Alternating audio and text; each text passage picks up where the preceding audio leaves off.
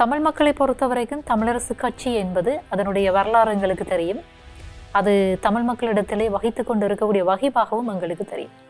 இப்படி இருக்கிற போது அவர்கள் எடுத்திருக்கக்கூடிய முடிவு சஜித் பிரேமதாஸ் அவர்களுக்கு தங்களுடைய முழுமையான ஆதரவை வழங்குவதாக குறிப்பிட்டிருக்கக்கூடிய எடுத்திருக்கக்கூடிய அந்த முடிவை நீங்கள் எப்படி பார்க்கிறீர்கள்? ஸ்ரீலங்கா தனக்குத்தானே மண்ணை அள்ளி போட்டுக் கொண்டிருக்கிறது. அதாவது தமிழ் மக்களால் வழங்கப்படுகிற அந்த வாக்குச்சரிவு என்பது பொது வேட்பாளரை நோக்கியதாக இருக்கும் எந்த அளவுக்கு அதனுடைய அந்த செல்வாக்கு இருக்கும் என்று நீங்கள் கருதுகிறீர்கள்? நாமலோ அல்லது அனுரகுமாரவோ அல்லது சஜித்தோ அல்லது ரணிலோ அதை பற்றி எதுவுமே கதைக்காத சூழ்நிலையில் எப்படி இந்த முடிவுக்கு வந்தார்கள்? நாங்கள் ஸ்ரீலங்காவை எடுத்து பார்த்தோமாக இருந்தால் இங்கே இனத்தினுடைய பெயராலே இனத்தினுடைய அடிப்படையில் தான் கட்சிகள் பெரும்பான்மையாக தீர்மானிக்கப்பட்டிருக்கிறது. இந்த கட்சிகளுடைய இயக்கம் என்பது நடைபெற்றுக் கொண்டிருக்கிறது. இப்படி இருக்கிற போது ஸ்ரீலங்காவிலே ஒட்டியாட்சியின் கீழ் தீர்வு என்கிற ஒரு நிலைப்பாடு சாத்தியமானது? இதற்கு பின்னால் இந்த முடிவுக்கு பின்னால் இருக்கின்ற அனைவரும் அல்லது இந்த முடிவுக்கு ஒத்துவதுகள் அனைவருமே மக்களால் எதிர்காலத்தில் அரசியல் ரீதியாக தண்ணி காட்டுவதாக தான் நினைக்கிறேன். இறுதி கட்டமான பேச்சுவார்த்தை கொண்டு செல்வதற்கும் முடிவெடுத்த அந்த விடயங்களை அமல்படுத்துவதற்குமான அந்த பலமோ லெவரேஜோ எதுவுமே இல்லாமல் போய் கதைப்பது கோமாளித்தனம்.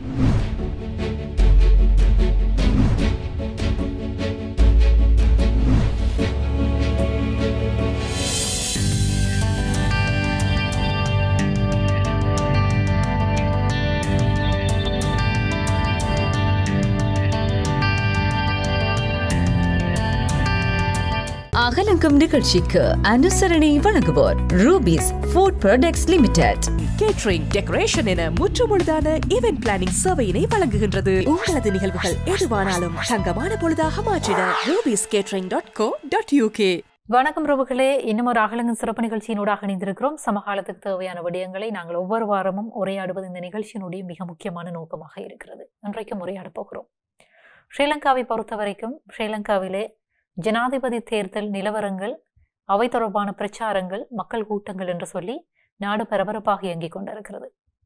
தமிழ் மக்களை பொறுத்த வரைக்கும் யாருக்கு வாக்களிப்பது என்கிற ஒரு கேள்வியும் அவர்களிடத்தில் இருக்கிறது. சிலருக்கு நாங்கள் இவர்களுக்கு தான் வாக்களிக்க வேண்டும் அல்லது இந்த நிலையில் தான் பயணப்பட வேண்டும் என்கிற தெளிவும் இருக்கிறது. இது ஒரு புறம் இருக்கு. ஐக்கிய நாடுகள் சபையினுடைய மனித உரிமைகள் கூட்டத்தொடருக்குரிய காலமாகவும் இந்த காலம் இருக்கிறது. ஆகவே இந்த இரண்டு விடயங்களையும் பற்றியதாகத்தான் இன்றைக்கு நேர்காணல் பயணப்பட போகிறது. அழைத்து வந்திருக்கிறோம் பிரித்தானிய தமிழர் பேரவையினுடைய செயலாளர் வி. ரவிக்குமார் அவர்கள்.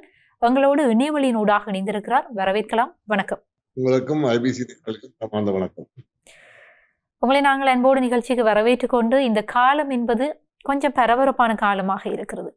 தாய் நிலமும் பரபரப்பாக இருக்கிறது புலம்பெயர்ந்து வாழ்ந்து கொண்டிருக்கக்கூடிய மக்களும் இந்த மனித உரிமைகள் கூட்டத்தொடர் தொடர்பான விழிப்புணர்வுகளை கொண்டவர்களாக அவை தொடர்பான விடயங்களை பேசுபவர்களாகவும் மாறியிருக்கிறார்கள்.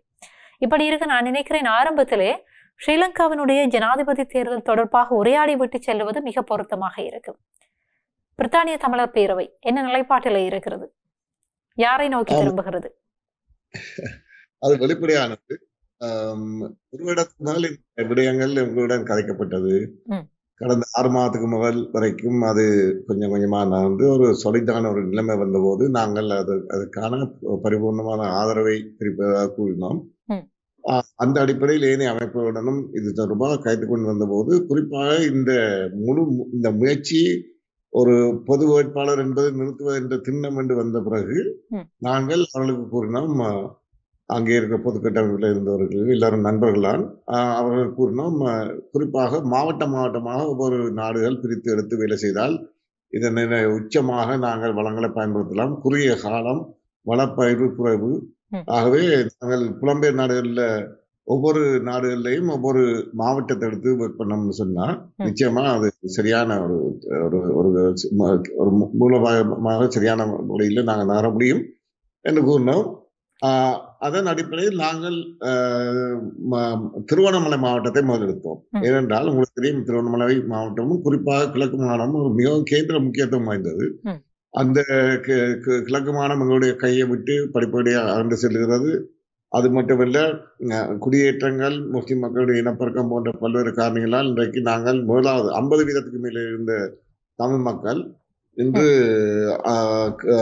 முப்பத்தி ஏழு வீதத்துக்கு தள்ளப்பட்டு இரண்டாவது நிலைக்கு முஸ்லிம் மக்களுக்கு அடுத்ததாக அந்த நிலைமை வந்திருக்கிறது. ஆகவே இது இன்னும் மோசமாக இருக்கும். இந்த இந்த நிலைமை சரியாக நாங்கள் இந்த இந்த விஷயங்களை நாங்கள் சரியான முறையில் அணுக வேண்டும் என்பது எங்களுடைய நீண்டகால மூலோபாய முன்னுரிமை. இந்த அடிப்படையில் நாங்கள் திருவோணமலையை குறிப்பாக எடுத்திருந்தாலும் அதனை ஒரு அங்குள்ள நண்பர்கள் நண்பர்கள் வெளியிலே இருக்கிற எங்களுடைய நண்பர்கள் செயற்பாளர்கள் அனைவரையும் கொண்டு திருவண்ணாமலை மாவட்டத்தை மையப்படுத்தி ஒரு சரியான ஒரு ஒரு அடிமட்டத்திலிருந்து எழும்புகின்ற ஒரு கிராஸ் ரூட் ஸ்ட்ரக்சர் ஒன்றை ஃபார்ம் பண்றதுக்கு முயற்சி செய்து. அதில் பெரும்பாலான பங்கை அவர்கள் வைத்தார்கள். நாங்கள் அவர்களுக்கு உறுதுணையா இருந்தோம். அந்த ஸ்ட்ரக்சர் முடிவாக மேலெழுந்த போது பின்னர் ஏனையவர்கள் கேட்டுக்கொண்ட அடிப்படையில் கிழக்கு மாநிலத்தின் இதர பிரதேசங்களை அதாவது மாவட்டங்களை குறிப்பாக மட்டக்களப்பு அம்பாறை மாவட்டங்களையும் ஒருங்கிணைத்து ஒர்க் பண்ணுவோம் என்று சொல்லவும் அதிலே பலர் வேலை செய்தாலும் பிரித்தானிய தமிழர் பேரவையாக இந்த கிழக்கு மாநிலத்தின் மூன்று மாவட்டங்களையும் நாங்கள் குறிப்பாக எங்களுடைய வளங்களை திருப்பி எங்களுடைய அங்குள்ள தொடர்புகள் வெளியில் இருக்கிற தொடர்புகளை கொண்டு. ஒரு கிராஸ் ரூட் ஸ்ட்ரக்சர் ஒன்றை போட முயற்சிக்கிறோம் அது பட்டி தொட்டியெங்கும் பிறகு அடுத்தடுத்த முக்கியமான நிகழ்வுகளிலும் அந்த தாக்கம் ஒரு பெரிய பலனை கொடுக்கும் மக்களை ஒற்றுமையாக கொண்டு வர முடியும் என்று நினைக்கிறோம். நினைக்கிறீர்கள்? வெளிப்படையாக சொல்ல போனால் நீங்கள் தமிழ் மக்கள் தொடர்பாக தமிழர்கள் சார்பாக இருக்கக்கூடிய பொது வேட்பாளருக்கு நீங்கள் மக்களை வாக்களிக்கக்கூடிய வகையில் உங்களுடைய செயற்பாடுகள் இடம்பெற்றுக் கொண்டிருக்கிறது. எதற்காக இந்த முடிவு? இந்த முடிவிற்கான பிரத்யோகமான காரணங்கள் எதுவும் இருக்கிறதா? அதாவது முதலாவது காரணம் தமிழ் மக்கள் ரெண்டாயிரத்தி ஒன்பதுக்கு பிறகு கட்சி ரீதியாக.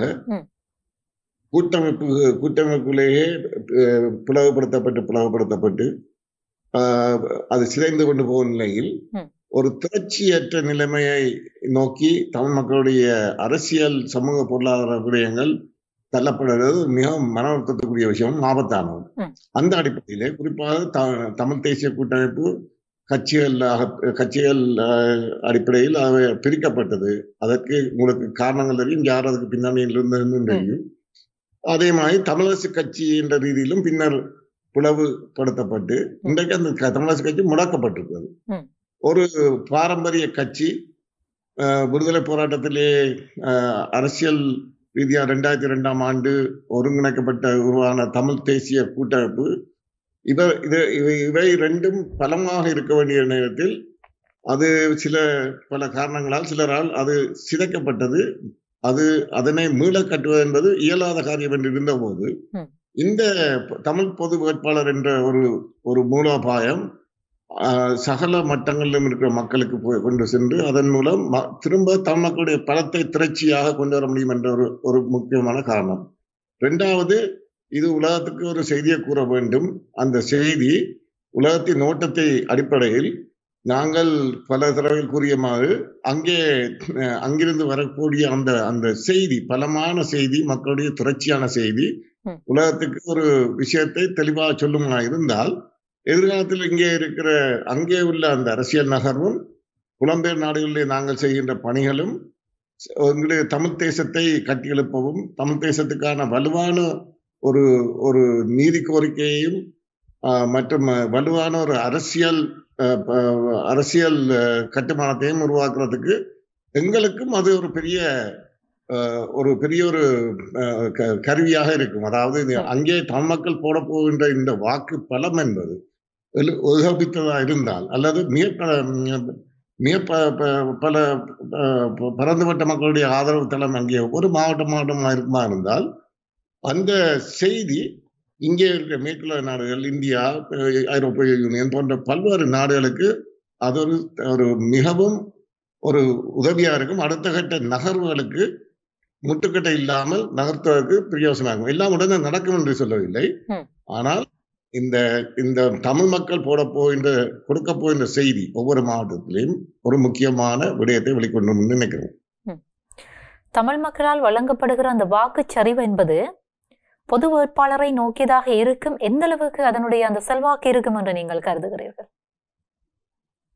சென்ற தேர்தல் அதுக்கு முதல் இருந்த தேர்தல் தான் நீங்கள் கவனித்திருப்பீர்கள். அங்கே எவ்வளவு தூரம் தமிழ் மக்களுடைய தேசிய அபிலாஷைகளுக்கான அதை கூறி முன் வந்து போட்டியிட்ட கட்சிகளுக்கு இடையில இருந்து பிரி- பிரிந்தது மட்டுமல்ல தேசியத்துக்கு எதிரான தமிழ் மக்களுடைய தேசியத்துக்கு எதிரான வேட்பாளர்களுக்கும் அந்த அதன் கணிசமான வாக்கள் மெல்ல மெல்லமாக அதிகரித்து வருவதை கண் கண்கூடாக தெரிந்தது.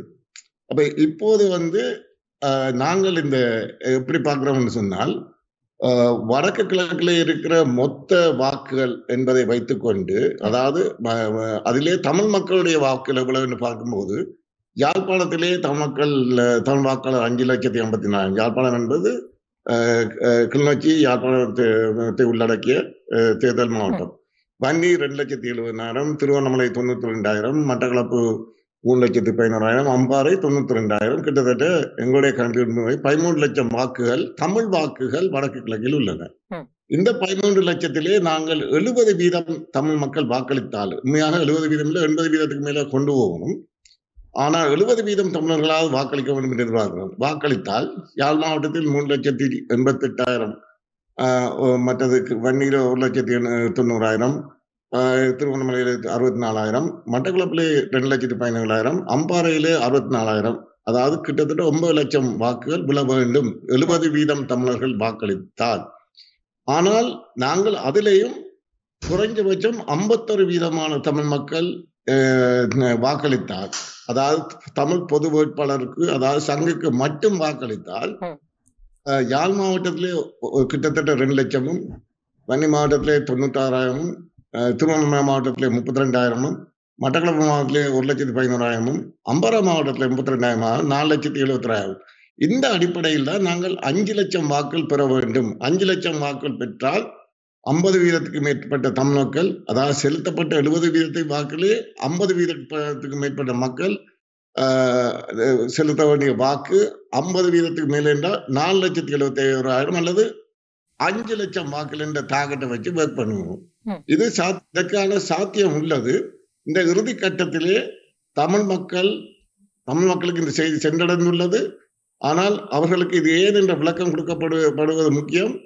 இன்னும் ரெண்டே ரெண்டு நாட்கள் இருப்பதாக அறிகிறோம். அதற்கிடையிலே அங்கே உள்ள மக்கள் பெரிய அளவுக்கு அங்கே செயல்பாட்டாளர்கள் எல்லா மாவட்டங்களும் இதை கொண்டு செல்ல வேண்டும் என்று எதிர்பார்க்கிறோம்.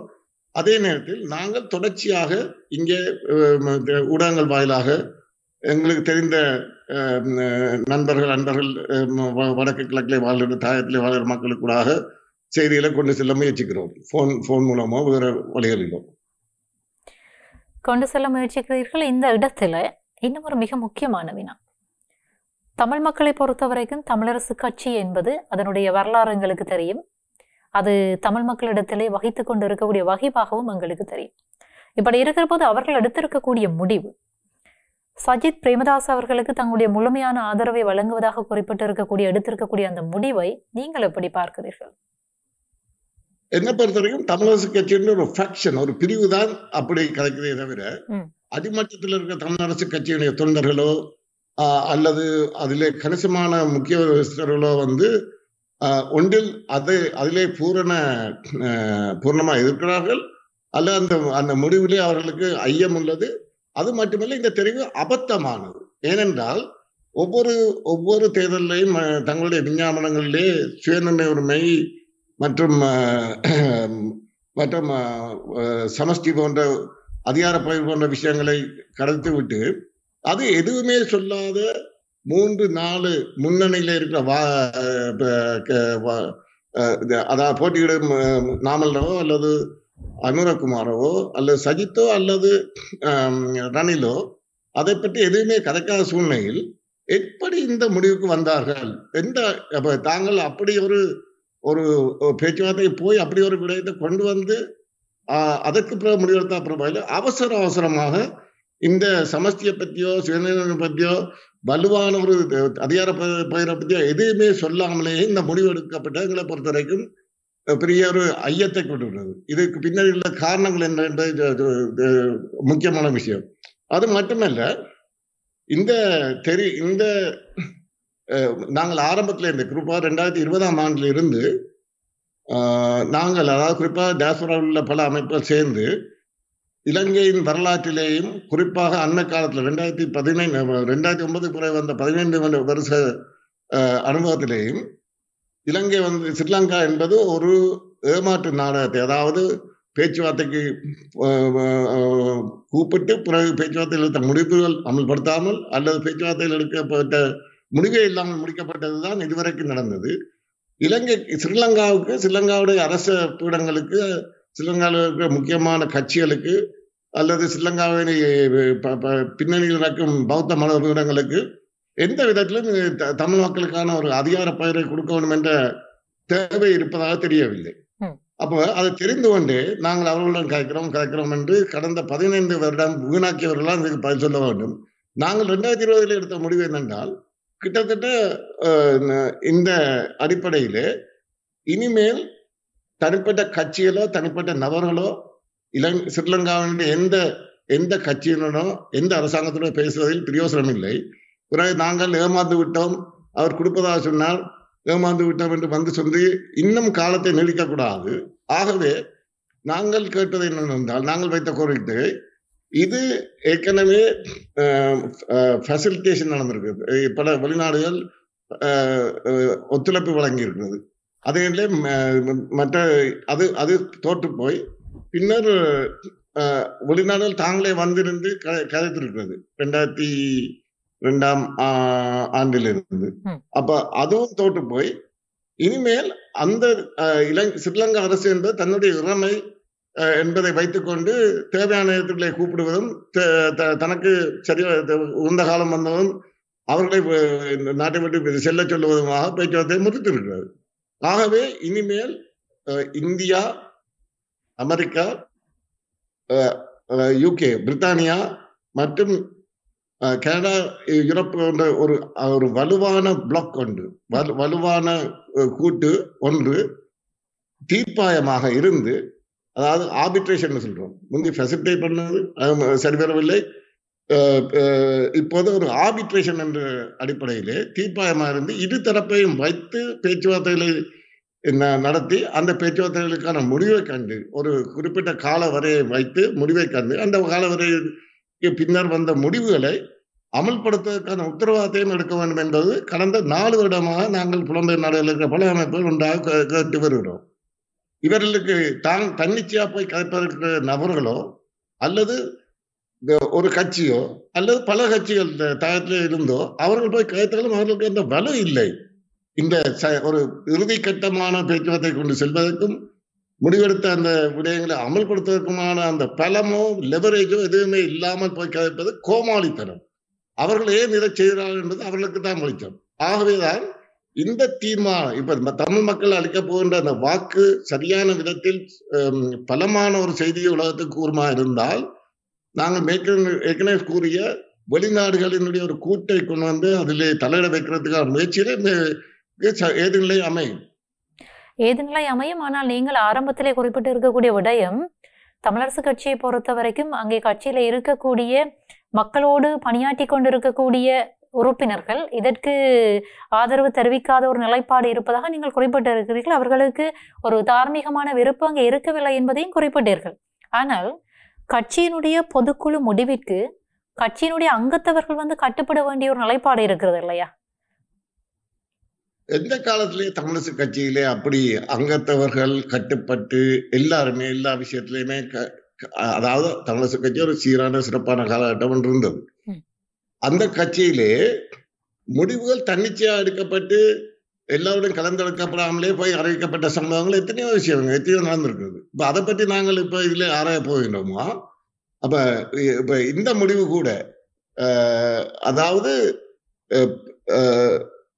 சஜித்தோட கதைத்து அவர் என்ன ஒத்துக்கொண்டார் என்ன காரணத்துக்காக நாங்கள் இதனை அவருக்கு வாக்களிக்க சொல்லுகிறோம் என்று தமிழரசு கட்சியினுடைய அந்த ம- அந்த குழு ஏன் ஏதாவது மக்களுக்கு பகிரங்கமாக அறிவித்திருக்கிறதா?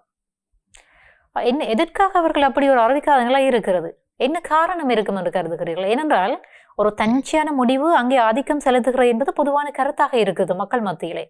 அதே நேரத்தில் நீங்கள் குறிப்பிட்டதை போன்று இந்த கட்சிகளை பொறுத்த வரைக்கும் பெரும்பான்மையான வாக்குகளை பெறக்கூடும் என்று கருதுகிற முக்கியமான வேட்பாளர்களை பொறுத்த வரைக்கும் அவர்கள் தமிழ் மக்கள் தொடர்பாக எந்த விதமான தேர்தல் விஞ்ஞாபனங்களையும் அழுத்தி குறிப்பிட்டிருக்காத ஒரு நிலையிலே அந்த கட்சிகளுக்கு நாங்கள் ஆதரவை வழங்குகிறோம் என்கிற ஒரு நிலைப்பாடு வந்து எதன் காரணமாக எடுக்கப்பட்டிருக்கும்? இதற்கு பின் ஏதாவது காரணங்கள் இருக்குமா? உங்களுடைய அனுபவத்தில் இருந்து இதனை கருதுகிறீர்கள். இல்ல இதுல அந்த காரணங்கள் எது என்றதுக்கு அப்பால். எடுத்த முடிவு மூலோபாய ரீதியாகவும் சரி தர்க்க ரீதியாகவும் சரி மக்களுடைய பரந்துபட்ட எதிர்பார்ப்புகளுக்கும் சரி முற்றிலும் மாறுபட்டது தவறானது. அப்படி அதற்காக அவர்கள் தான் விளக்கம் சொல்லணும் இந்த இதுவரைக்கும் அந்த விளக்கம் எங்கேயுமே தெளிவாக கொடுக்கப்படவில்லை அவர்கள் கேட்டது என்னவோ ம். அது கிடைக்காமலேயே ஆதரவு கொடுப்பது என்பது அவர் முடிவு எடுத்தவர்களுடைய தவறு முடிவு எடுத்தவர்கள் இதுக்கு விளக்கம் சொல்ல வேண்டும். ஆனால் அப்படி இருக்கிற போது மக்களாக அவர்களை அணுகக்கூடிய நிலைமை இருக்கிறது.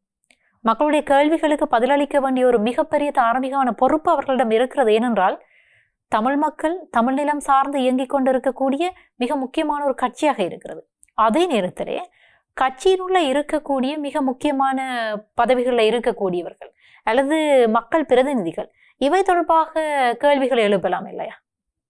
நிச்சயமா அந்த அந்த கேள்விகள் எழுப்பப்பட்டு வந்திருக்கிறது. இப்போது இந்த தமிழ் பொது வேட்பாளர் என்ற அந்த அந்த ஒரு முக்கியமான நகர்வு வந்த பின்னர். பரந்துபட்ட தளத்திலே குறிப்பாக புலம்பெயர் நாடுகளிலேயும் தாயத்திலேயும் வந்து ஒரு அரசியல் விழிப்புணர்வு உருவாகி இருக்கிறது ம். முந்தி கேள்வி கேட்காமல் சின்னத்துக்கு வாக்கு போட்ட மாதிரி அல்லாமல். இந்த முறை ஒரு அரசியல் தெளிவோட வாத பிரதிவாதங்கள் நடப்பது ஒரு முக்கியமான ஒரு நல்ல விஷயமா தான் பார்க்கிறோம் ம். அஹ் ஒரு கட்சி அல்ல ஒரு தலைவர் சொன்னதுக்காக நாங்கள் இந்த சின்னத்துக்கு போட போறோம் என்று போட்ட காலம் முடிஞ்சு விட்டதுன்னு தான் நினைக்கிறோம். தமிழ் மக்கள் மத்தியிலே அது பற்றி பரந்த விவாதம் நடக்கிறதாக கேள்விப்படுகிறோம் பத்திரிகைகளை பார்க்கிறோம். மற்றது உறுப்பினர்கள் கட்சி அங்கத்தவர்கள் அடிப்படை அங்கத்தவர்கள் மேல் மேல வரைக்கும் இதுக்கான விவாதங்களும் வாத பிரதிவாதங்கள் நடப்பது கண்கூடாக தெரிகிறது. அது ஆரோக்கியமான ஒரு வளர்ச்சி. ஆனால் பதில் சொல்ல வேண்டியவர்கள் இந்த முடிவு எடுத்தவர்கள் தான் பதில் சொல்ல வேண்டும் எதற்காக இந்த சமஷ்டியோ அல்லது சுயநிர்மையோ அல்லது ஒரு சப்ஸ்டான்சியலான பவர் ஷேரிங்கோ இல்லாமல். எதற்காக இந்த வாக்கை போட சொன்னார்கள் என்பது ஒன்று. அப்படி சொன்னால் கூட அவர்கள் நாளைக்கு வந்து உங்களுக்கு அவர் சொன்னதை நிறைவேற்றுவார்கள் என்பதற்கு என்ன உத்தரவாதம் வைத்திருக்கிறது. அப்படி உத்தரவாதம் இருந்தும் அதற்கு எதிரான ஒரு ஒரு அலை வந்து அல்லது அங்கே இருக்கிற இப்ப இருக்கிற பாராளுமன்ற காம்பினேஷனை பார்க்கும்போது அதை எப்படி நிறைவேற்ற போறீங்க?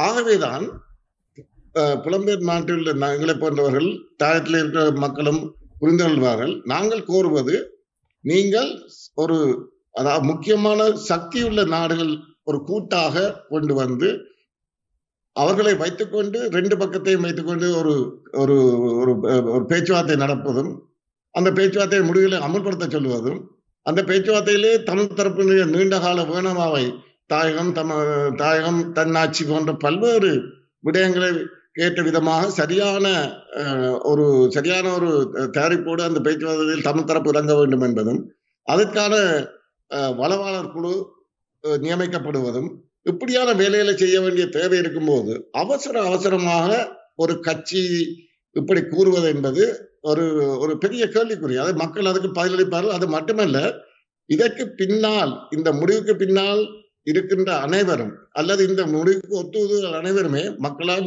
எதிர்காலத்தில் அரசியல் ரீதியாக தண்டிக்கப்படுவார்கள் நான் நினைக்கிறேன். அந்தளவான தெளிவோடு மக்கள் இருக்கிறார்கள் என்று நினைக்கிறீர்களா? ஆஹ், நீங்கள் குறிப்பிட்டதை போன்று யார் மக்களுக்காக இயங்குகிறார்கள்? யார் நிலத்துக்காக இயங்குகிறார்கள்? அல்லது யார் சுயநலத்தினுடைய அடிப்படையிலே முடிவுகளை எடுக்கிறார்கள் என்கிற ஒரு அடிப்படையிலே தீர்மானித்து அணுகக்கூடிய அந்த விழிப்புணர்வோடு மக்கள் இருக்கிறார்கள் என்று நீங்கள் கருதுகிறீர்களா? மக்களுக்கு இது ஒரு குறுகிய கால இடைவெளியில பல விஷயங்கள் அடுத்தடுத்து நடக்கிறபடியாக ஆரம்பத்தில் சில குழப்பங்கள் இருந்திருக்கிறது. ஆனால் இந்த குறுகிய காலம் வந்து இன்னும் கொஞ்சம் இடைவெளி இருந்திருந்தால் இன்னும் விவாதித்து இதை பற்றிய காரண காரியங்களை அவர்களுடன் ஆலோசித்து அவர்களாலே பெரிய அளவு திரட்சியாக கொண்டு வர முடிந்து முடிந்திருக்கும் இதை பற்றிய சரியான பார்வையை கொண்டு வர முடிந்திருக்கும். ஆனாலும் அங்கே இருந்த செயல்பாடாளர்கள் கட்சிகளை சேர்ந்தவர்களாக இருக்கலாம் அல்லது சமூக சிவில் சமூகத்தை சேர்ந்தவர்களாக இருக்கலாம் அல்லது சி- சிந்தனையாளர்களாக இருக்கலாம். அவர்கள் வந்து இதனை ஒரு ஆரோக்கியமான விஷயத்தில் எடுத்துச் செல்வதும் இங்கே நாங்கள் முதன் முதலாக புல புலம்பெயர் நாடுகளிலே நாங்கள் இது குறித்த ஒரு விழிப்புணர்வை கொண்டுவதற்காக கடந்த பதினாறாம் தேதி அங்கே உள்ள இந்த இந்த இந்த கடமையை பொறுப்பேற்று செய்கின்றவர்கள் நாலு பேரை எடுத்து சிவில் சமூகத்தை சேர்ந்தவர்கள் நாலு பேரை எடுத்து அரசியல்வாதிகளும் எடுத்து இங்கே உள்ள எங்களுடைய மக்களோடு ஒரு கலந்துரையாடல் உருவாக்கணும் அந்த கலந்துரையாடலில் அவர்கள் எதற்காக இதை செய்கிறோம் என்ற விளக்கமும் இதை எப்படி செய்ய வேண்டும் என்ற உதவியிலையும் கூறினார்கள். அதுக்கு அடுத்ததாக இங்கே இன்னொரு பொதுக்கூட்டம் ஒன்று ஒழுங்கு செய்திருந்தோம். அதிலே சிறிதரன் அவர்களும் வந்து உரையாற்றியிருந்தார். அவரிடம் பல கேள்விகள் கேட்கப்பட்டது. பல விதமான கேள்விகள். குறிப்பாக தமிழ் பொது வேட்பாளராக இருந்தாலும் கட்சியை பற்றியும் பல கேள்விகள் கேட்கப்பட்டது. அது எதில் எல்லாத்திலிருந்து தமிழ் மக்களுக்கு அதில் இங்கே இருக்கிற புலம்பெயர் மக்களிலே பலருக்கு இதை பற்றிய ஒரு ஆர்வம் இருப்பது தெரிகிறது. இது சரியான ஒரு சரியான தேவையான காலகட்டத்தில் தேவையான நடவடிக்கை என்பதை பரவலாக இங்கே இருக்கிற மக்கள் உணர்ந்து கொள்கிறார்கள் அமைப்புகள் உணர்ந்து கொள்வது. சில அமைப்புகள் ப- மதில் மேல் பூடமாக இருக்கிற இருக்கிறது.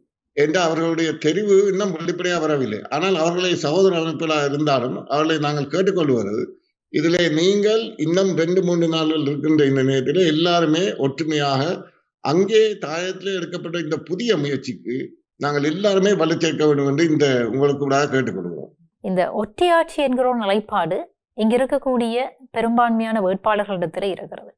ஆனால் நீங்கள் வாழ்ந்து வருகிற பிரித்தானிய தேசத்தை பொறுத்த வரைக்கும் அங்கும் இந்த ஒற்றையாட்சி நிலைப்பாடு என்பது இருக்கிறது. ஆனால் பிரித்தானியாவை பொறுத்த வரைக்கும் அங்க இருக்கக்கூடிய கட்சிகள் இனத்தினுடைய அடிப்படையில் தீர்மானிக்கப்படுகிற கட்சிகள் அல்ல. அது உங்களுக்கே தெரியும். உதாரணமாக லேபர் பார்ட்டி இருக்கிறது அது எதற்காக அந்த கட்சி உருவாக்கப்பட்டிருக்கிறது? இதனுடைய அடிப்படையில் அந்த கட்சியினுடைய பயணம் இருக்கிறது என்பது தெரியும்.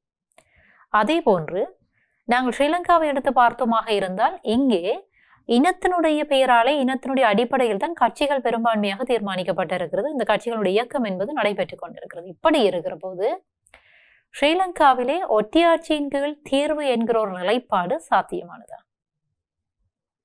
நாங்கள் ஒப்பிட்டு பார்க்கிற போது பிரித்தானியாவோடு ஒப்பிட்டு பார்க்க ஏனென்றால் பிரித்தானியாவை உதாரணமாக காட்டுகிறார்கள் இல்ல பிரித்தானியாவுக்குள்ளேயே ம்.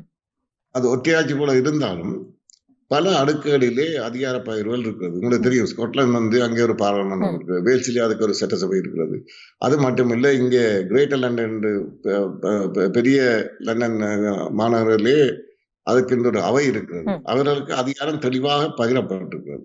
அப்ப அப்படி அதை விட நாங்கள் இந்த இருந்து கேட்கிற சுவிட்சர்லாந்து நாட்டிலே அருமையான ஒரு கேண்டன் மாதிரியான ஒரு ஒரு ஏற்பாடு உள்ளது கனடாவில் உள்ளது. அமெரிக்காவில் இருக்கிறது.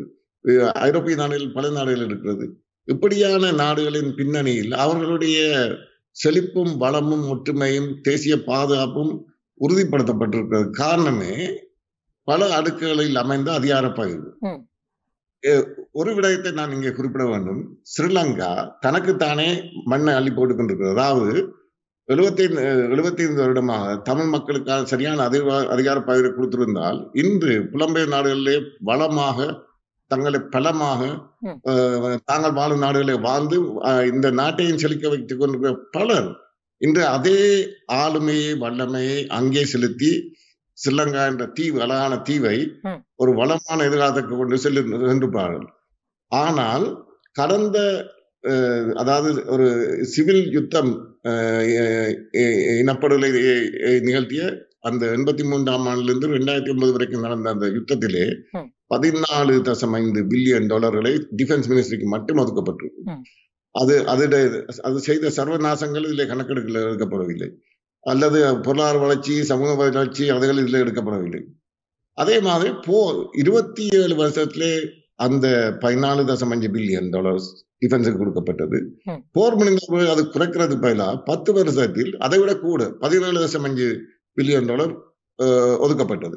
இப்ப அது அந்த பாதுகாப்பு செலவினத்தில் உச்சபட்சமாக பதினைந்து வீதம் என்று தேவையா? பதினைஞ்சு வீதம் மொத்த பாத பாதுகாப்பு செலவு sorry, மொத்த பாதையிட்டிலே பதினைந்து வீதம் தேவையா என்ற கேள்வி இருக்குது. அது மட்டுமில்ல யுத்தம் முடிந்த பிறகு அங்கே உள்ள மிலிட்டரி குறைப்பதற்கு பரவலாக கிட்டத்தட்ட எழுபதாயிரம் பேரை மேலும் ரெக்ரூட் பண்ணியிருக்கிறார்கள். இதனை நாங்கள் இன்டர்நேஷனல் மானிட்டரி ஃபண்டுக்கும் வேர்ல்ட் பேங்க்கும் சரியான தரவுகளுடன் ஒரு பெரிய ஆய்வு செய்து அதனை கொடுத்தோம்.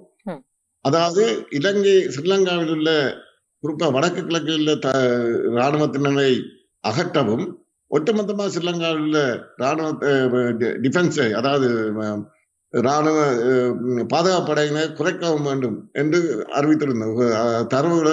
கு- குறிப்பிட்டிருந்தோம். ஏனென்றால் நாங்கள் அதில் சொன்ன காரணம் இந்த ரெண்டையும் சேர்த்து பதினாலு வருஷம் அஞ்சு போர்க்காலத்தில் செலவழித்த தொகையும் போருக்கு பிந்திய காலத்தில் செலவழித்த தொகையும் சேர்த்து மொத்தம் முப்பத்தி நாலு பில்லியன் டாலர் பாதுகாப்பு செலவு பாதிட்டில் ஒதுக்கப்பட்டது. அதிலே முப்பத்தி நாலு தசம் அஞ்சு வீதத்துக்கு இதனால வந்த அது வீண் விரயம் ஒரு பக்கம் இருக்க ஸ்ரீலங்காவினுடைய கடன் வந்து ஐம்பத்தொரு வீதமாக ஐம்பத்தொரு பில்லியன் டாலராக உள்ளது.